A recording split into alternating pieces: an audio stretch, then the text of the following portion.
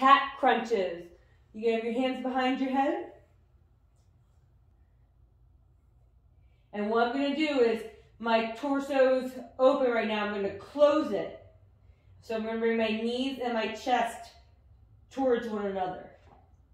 Okay, so my low back is on the ground like I'm doing a pelvic tilt.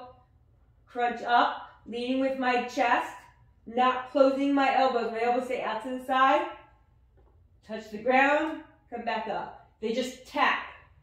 So I call it a tap crunch.